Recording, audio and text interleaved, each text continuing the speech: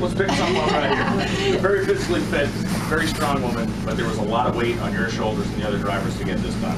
I believe so, but when you have seriously that amount of support behind you, it's really not that heavy. I've watched Antron and Tony and other DSR teams carry that weight before and get it done, and I feel like you know when you, when we say we're racing one round at a time, that is seriously that mindset. Instead of you can you know believe the exact opposite and put everything on you. I mean, this uh, the conditions out there were, were varying all weekend long, and that's why my hats and kudos go off to, to Joe Barlam and, and Todd for continuously finding what was right and wrong and then and adjusting to it and overcoming uh, you know what we had in the right lane. But yeah, the, the, the, the top fuel win for, for Schumacher Racing since Brainerd. So I guess that would have been us. So that, that has been a minute. Uh, but there is strategy behind behind what we're doing, and it all has to do with the countdown. And yeah, you want to win every race, but this was this was very special in a lot of ways. It's yes. Always there's a lot of back and forth between drivers and crew chiefs on a typical race weekend. When we talk about a race weekend like this, where the racetrack was a very big factor, and there were physical things you needed to be doing inside the car to make it work, talk about that. Does it change that? Absolutely. So what a lot of people don't know is when drivers roll up, they're rolling up for where they're going to wet, where they're going to burn out, which typically isn't where you're going to run your line. Now the groove down track is a groove.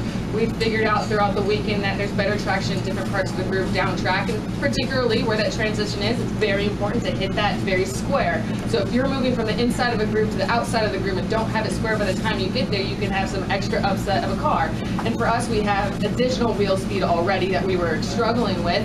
So those were those are my key factors. It wasn't even who I'm who I'm racing, who's in the next lane, who's going to try and stage what. It was when we say the drivers have to be perfect. It's more than just on the tree. It's about making sure it, it goes down the track. Particularly too, I know uh, Formula Drift is here next weekend, and I got some great friends over there. And there have been a couple runs where you stick with it. When it takes guts to go 330 miles an hour with you know those wheels spinning and doing things that are taking it to its edge, that's when you know you're doing great things with incredible people.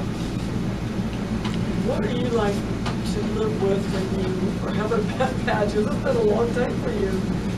Everybody kind of says that, right? They call it a slump and they call it a drought. I think you're talking somewhat to the wrong person because I waited 20 years or so, 19 to, to get my first top fuel win. When you have that glimpse of, uh, of victory and you, you continue and you chase and you, and you drive and you encourage each other even more, then you gain more victories. And that's what we had at Schumacher. So we know that we're capable and that's what we live off of. I think having a completely positive mindset, and that's the culture that our top fuel team in Schumacher lives within. Um, not letting, you know, non-wins for a certain number of races get us down. Given Don is there and he's letting us know, but it's it's really that drive, determination, and, uh, advancements, and the never will to give up. And today, that's what this team put on the track. And this this this win it means a lot, and to have it to do it with Lucy here. We, she's been there's a young lady, Lucy, uh, the Make a Wish granted a wish for her.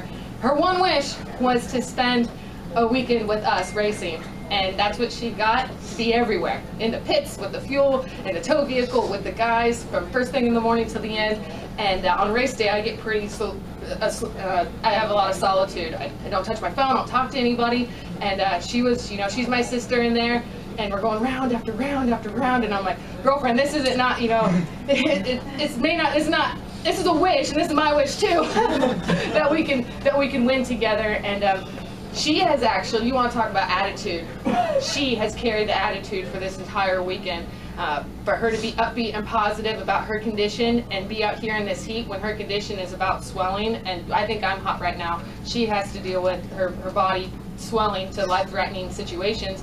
And uh, for us to win with her in Hotlanta, uh, this one is for her and the Ronnie Thames Foundation. Lee, oh, go, no, go ahead. What do you think of the, the you know, it's, it's, what is it, Women of Power Month?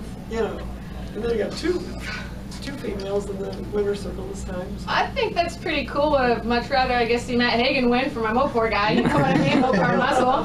Hey, I'm, I'm, I'm true to my people, and that Mopar team has supported us very heavily. You know, we're super closely aligned.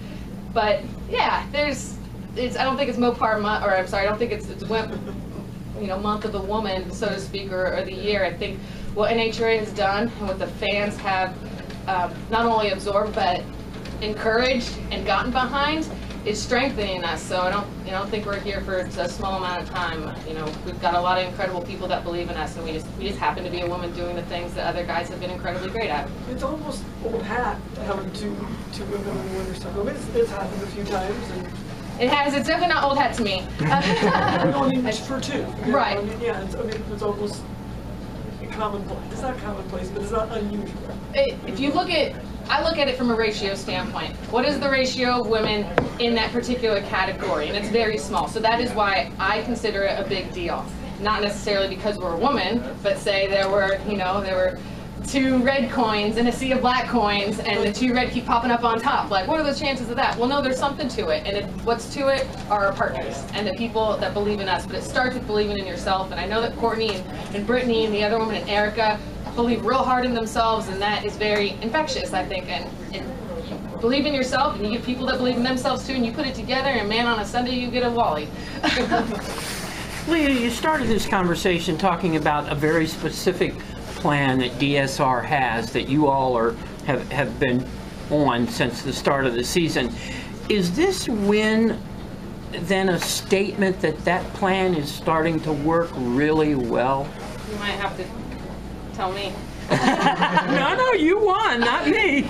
I, I would say so. I mean, it's it's not like we had this huge big powwow between all of the seven teams, which now Schumacher is eight, uh, no nine if you, you count all the cars we have. Uh, but particularly for our team, for Todd and Joe, we came out last year and we raced. We were a new team, as in the members, coming together, and we all brought our A game, and it worked really well. And we just raced and raced and raced, and raced even better with what we were good at. But weren't able to work as hard or get the results we wanted in particular conditions. So this year, when we, you know, just like Torrence and a lot of other drivers feel like, man, that countdown, you know, it can sting, or you can make it not sting for you, and you can, you know, be a little bit try try new things earlier in the season to get ready for it. And at the end of the day, we all race the same countdown. That's the, you know, that's the, that's the situation that we're given, and uh, it's it's Survivor, man. It's whoever plays that game the best.